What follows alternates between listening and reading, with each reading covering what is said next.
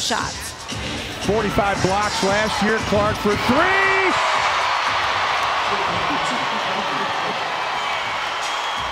Clark, they said she has redefined what a good shot is. Look how far out she was.